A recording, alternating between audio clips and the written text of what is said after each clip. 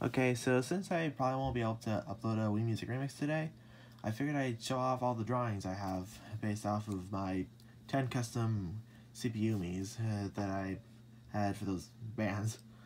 So, in order of me making them, first is Liz. She's uh, the, the leader of, of the Liz 5 and all that. Um, then uh, we have Olivia made her a bit shorter because you know she's she's a lot shorter than most of most of my CPUs.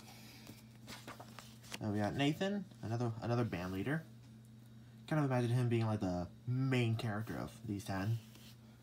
Then we got Gavin. I keep having to remind myself that his name's not Wyatt. I don't know why. Um, we got Sabrina. This is one of my personal favorites.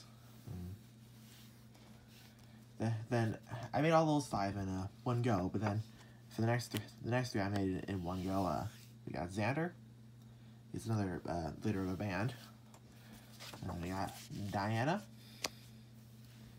He's uh, no, she's a she's a fan favorite as well, from what I've heard, what I've talked to, to my friends about. And uh, here's Jeffrey. everybody call, everybody talks about how rotund he is, and yeah. So those are so after those three, I made these last two in one go. Uh, we got Bryce.